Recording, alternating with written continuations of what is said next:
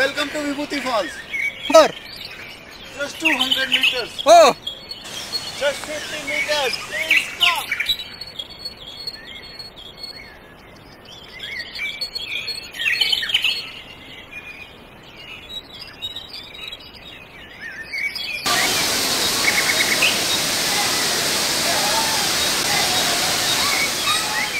Let's go.